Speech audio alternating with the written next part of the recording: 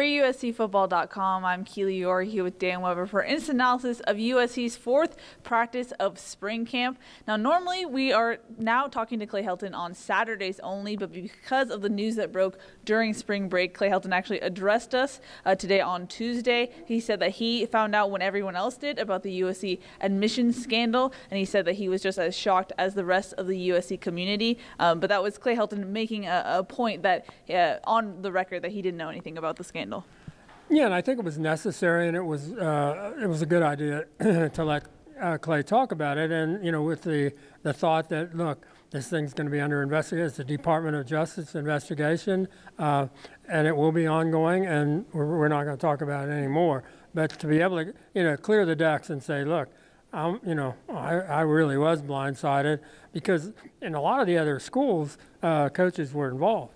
Uh, that you didn't have to have a coach involved here, uh, according to the you know the government's case, because you had a senior athletic administrator involved. Uh, but I thought it was was very uh, you know wise for him to say, um, I just I had no idea. Uh, we saw it when we saw it, and when you guys saw it, we saw it. Um, and I, I, thought that was I it was just one of those we've kind of I think at times criticized USC's uh, public relations instincts. I thought that was a, a smart move today and a good uh, public relations uh, uh, decision. Yeah, yeah, better to, to address that now on Tuesday than wait all the way to Saturday to talk about it. Uh, but to the actual football, uh, it was USC's first practice back from spring break. Clay Helton said that the offense looked a little rusty, but that's because they let the defense fully at them. They were able to go full pressure on the offense. What did you think about today's practice, Dan? I really like what we're seeing from the defense, obviously, but uh, I mean, guys like uh, Jay Tufele, um, Juliano Falaniko, I thought he had you know some big plays there. Uh, Clay said he liked all the inside linebackers, you know what they're doing and moving them. Uh, Drake Jackson, uh, just a lot of you know a lot of things that you saw for the first time.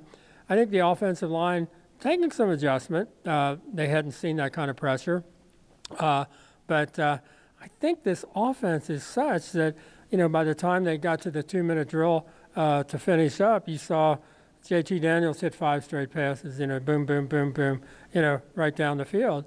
Uh, and, you know, there are some mismatches in the secondary with uh, Talanoa Hufanga still with his yellow jersey on. He's out there, uh, but not having the depth and the, and the healthy guys and all that that you should expect uh, receivers like Devon Williams and Tyler Vaughns and and uh, Michael Pittman all you know Amon Ra all made you know big plays and uh, and Jude Wolfe on a, a nice crossing route and touchdown on a you know where he took it up the sideline. So uh, uh what you're expecting, I think you're starting uh, to see on offense.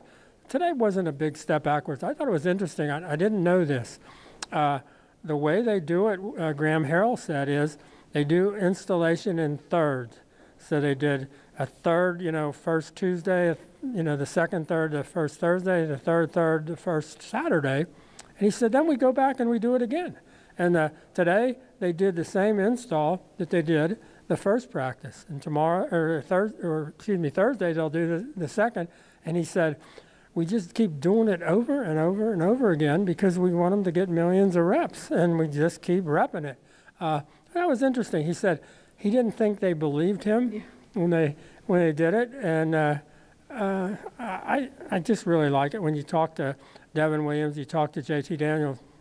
They love doing the reps and the simplicity of it, and uh, you, you gotta like that. Yeah, and Graham Harrell said that the install, offensive install, is essentially over. They're just going over the same things that they've installed that first week of camp. And JT Daniels, like you, you said, said it was it's easier on everyone involved in the offense to, to do what they're asked of um, this time around. And it's you can kind of see that on days like today where the defensive pressure is let loose. I feel like last spring we kind of would have seen a breakdown a little bit on offense. We wouldn't seen guys connecting as much as they did on offense, still with the pressure that they saw today. And I thought JT had a really interesting comment about um, comparing last year's offense to this year's. He said last year we, we, we had, and I think he meant we tried to have an answer for everything and trying to every defense and every possibility and all of that. He said, this year we just go out and play. You know, it's so much simpler. Uh, and you can just tell how much, uh, you know, getting, you know, good athletes and just letting them play, what a difference, what a concept. And then just working on it over and over and over again. Uh, I mean, I, I could not be more uh, pleased with that approach to the game. I mean, that's always been, you know, my approach uh, in terms of this is how, uh, you know, if you're a high school coach, that's how you figure out how do we get this so these kids uh, can really understand it, don't have to think about it. And if you can do that in college at this level with really good athletes, uh, I think you've done a lot of things right. So I think they're really on, the- you know, on the right track here. As far as the more newsier items come out of Clay Helton's uh, press conference after practice, he talked about uh, Eric. Z- Eric Ziskin, he confirmed that he is leaving the staff. He's moving on to something outside of football. Uh, he also confirmed other uh, staff changes. What were your main takeaways from that? It's a lot more people. I mean, uh, and I know Clay eventually said maybe just a couple more, but a couple more. I mean, you know, added you know four quality control coaches. Uh, I think USC will have the most uh, quality control coaches in the Pac-12. Again, Clay said, you know, it's not like East Coast uh, numbers, but uh, pretty good numbers. Um, and they added three more strength people, and uh, so. Uh, a kind of a positive, you know, sort of a, and Clay said he, you know, appreciates the university uh, willing to make the investment and, uh, and a couple of extra, uh, say, quality control guys that they didn't have last year. So, and bringing uh, uh, both, I guess, two of the, two of them, uh, one from, you know, Mike Jinks at Bowling Green and the other um, who had been with Graham Harrell, very familiar with this offense. So, uh, you gotta like that. There, there are some things going on that, that you, you gotta like.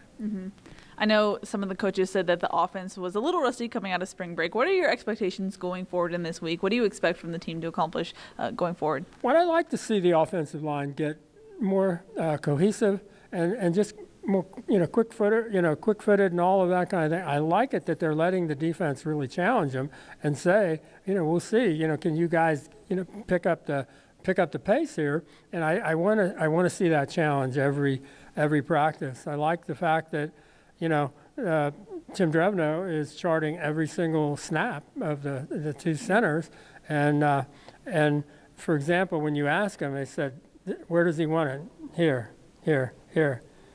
This is a bad snap. If the ball's right here, just off the I don't think side, they can see they that. can't see that. But it, we're giving if if the quarterback has to move his hands at all, you know, off the off the, you know midsection, it's not a good snap. And he said they said Drevno's been uh, and goes over it with them and goes over the video and uh, and you know the, the snaps look good. I mean, but he's uh, he's being uh, you know I think real critical in terms of um, uh, just having them off a little bit. Uh, I uh, I like it that they've got the officials. I, one of the things I think is the, the most beneficial that we're seeing.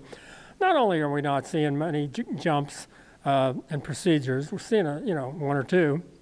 Uh, but I think the real learning is when you when you're seeing them go one on one, and uh, and you see a flag thrown, and you get to see the defender talking to um, the official who threw the flag, and they're discussing, you know, oh, I thought I was allowed to do that, or what? what and, the, and the official said, no, this is why I, I made that call. I think that's invaluable Yeah. learning lesson that they weren't getting last year. Last year they were, you know, "Ah, I didn't do anything. Yes, you did. Blah blah blah, and they're back and forth, and that didn't do any any good as we saw in games.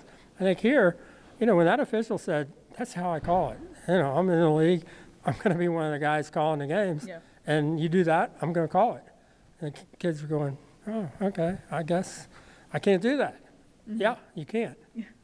We got a mini injury update uh, from Clay Helton today. He said that Trevor Trout over spring break tore a bicep and he already received surgery on that bicep, so Trevor Trout will be out for the rest of the spring. Uh, Caleb Tremblay, who hasn't been a full participant so far in spring, tried to go today. Uh, he didn't. He was on the trainer's table and then disappeared. I'm not sure if he was carted off, but uh, He walked off. He's Yeah. got a he had a big wrap on his uh, right calf, but he he kind of limped off. Yeah, Uh, yeah. So it hasn't been good for Caleb Tremblay so far, but we didn't get updates. Uh, Kedon Slovis was not dressed out, and a couple other guys were not dressed out today.